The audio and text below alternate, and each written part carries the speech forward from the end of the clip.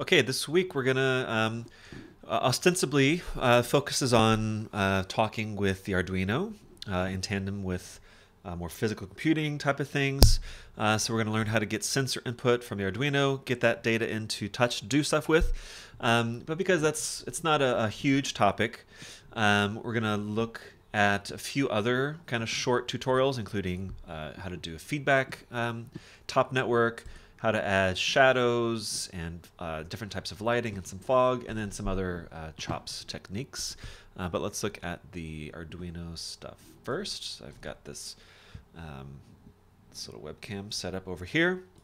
Uh, before actually, before we talk about um, the stuff in touch, we need to make sure we set up our Arduino uh, code properly.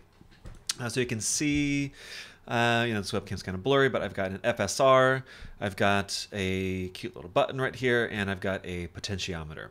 Uh, and so those are going, FSR is going into A0, potentiometer is A1, uh, and then the button is up here going into digital pin 7. Okay.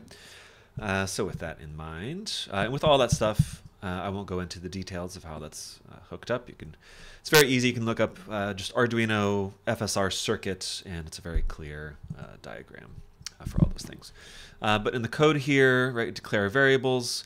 Um, so this communication it, between the Arduino board and TouchDesigner is happening via a serial connection, which is USB. Um, so standard, we um, give it a baud rate of 9600. Uh, there's a few different ranges you could give, but this number just needs to be the same as our serial in DAT right here.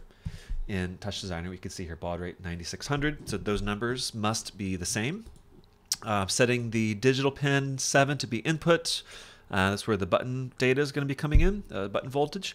Uh, and then in the loop here, so I'm reading that pin 7 and assigning that to uh, my button variable, analog read pin 0 and pin 1 for these two. And then this right here is, is really how we are um, organizing, this is how we're, we're sending the data uh, over to touch. And so actually, I'm going to turn this off for now uh, because uh, first thing, um, whenever, even like today, when, whenever I start a new circuit or whatever, uh, I make mistakes. I'm not like for sure if it's working or not.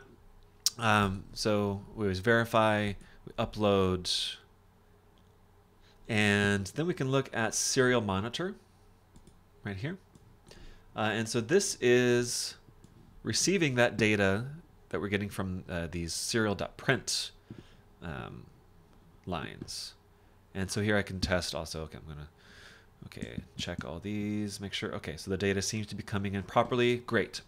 Uh, so after I confirm that, then I could close that. This code is already on the um, on the chip, right? It kind of lives lives right there already. So I don't need the IDE anymore.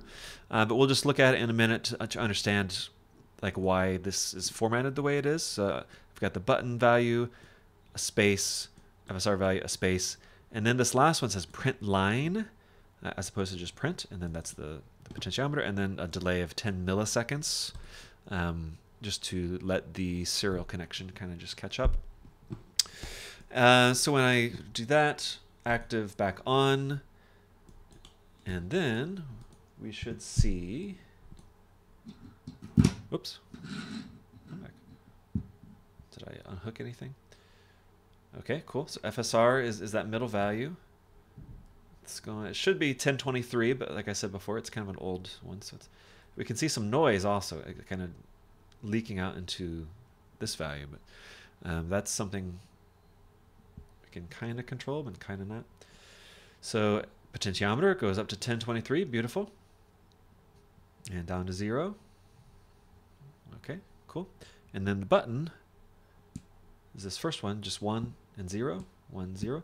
Also with the button, um, crazy amount of leakage. So when I hit the button, I see this like leakage over to my other two um, channels that I'm sending over here. So there's just some other um, gymnastics that we have to do to, to fix that. Um, you know, it comes down to the fact that we're dealing with analog electronics. Electrons are kind of passing through all this stuff. All of my wires, my boards, all my sensors that are fairly old, uh, and they're just uh, they're just kind of leaking, uh, leaking some electrons here and there. So so that's why that's happening. Um, but I guess to see, okay, let's go some other parameters here. Um, what we're looking at, serial dat. So to make this work, we need to make sure that's uh, active on, row callback format, one per line. Uh, so this line, this is where it's important.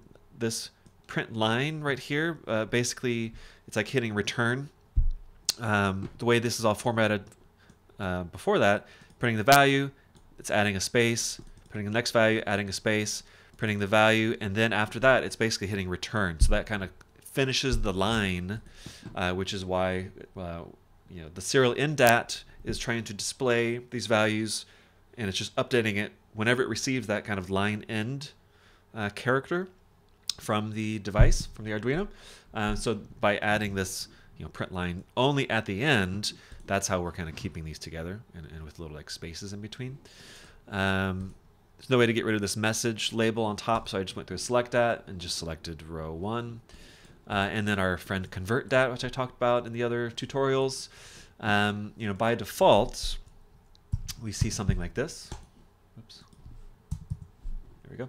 Uh, split cells at tab, uh, but there is no there's no tab character in these. We've just got spaces in between.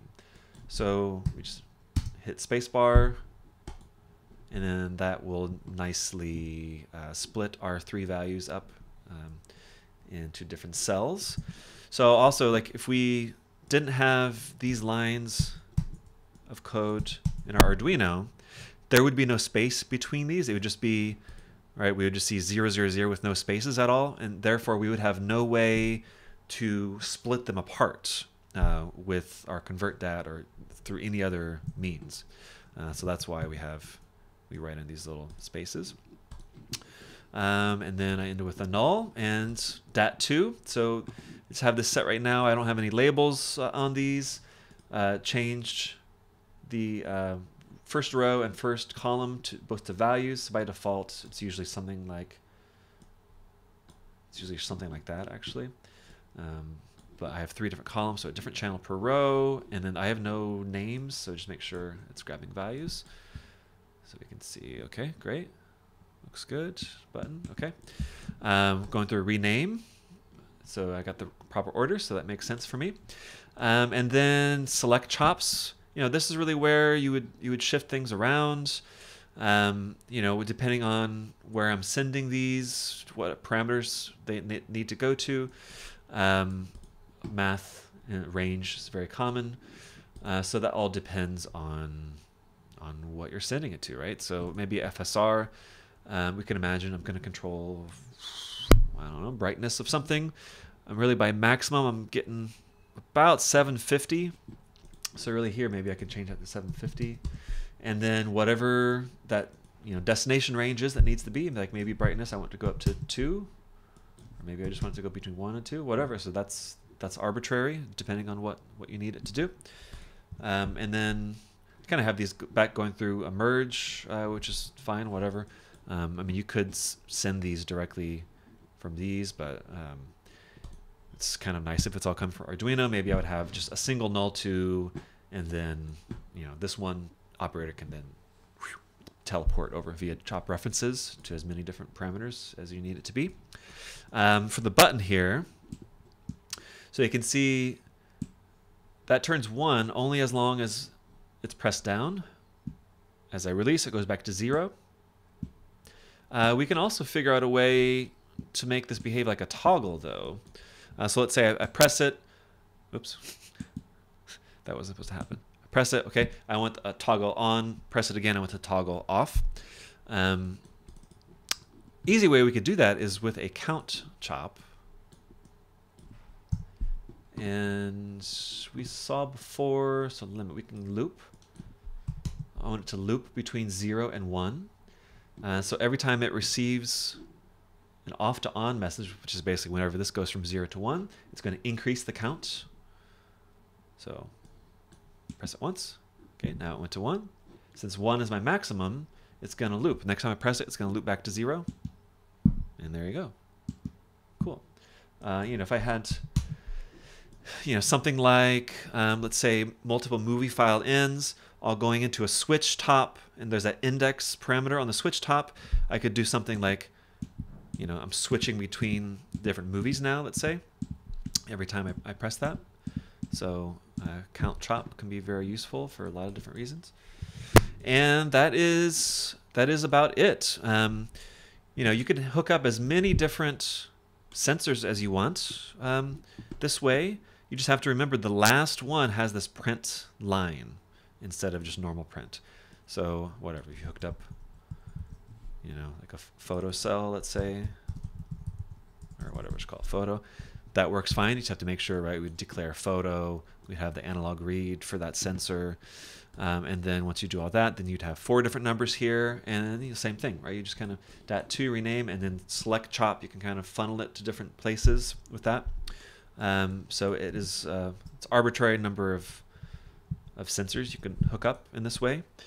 Uh, one last thing, I'll say that um, the serial connection is it can only be connected to one thing at a time. Uh, so right now, if we click on serial dat, so that's active. So the Arduino is actively connected via USB with this serial in DAT. So if I tried, let's say I changed my code a little bit, uh, and I tried to upload it, let's see what happens. Uploading, and there we go, error.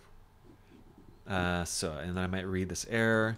Programmer's out of sync, and it's just like all this error stuff. And you might look at that and have no idea what that means. Uh, well, that's because the Arduino is currently connected to the serial DAT, but here the IDE software is trying to get in on that connection, but it can't because it's already connected to the, the serial DAT. So if we wanted to upload something, uh, we'd have to deactivate that and then upload so that the, the software on the computer has its chance to connect with the board. It's done. Okay, now we don't even need this anymore. We can turn that back on and then it works. So that's something to be aware of also.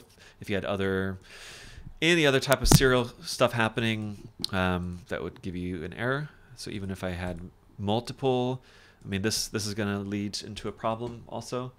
If I did like USB, okay, so that is like that's a mess right there. Look at that.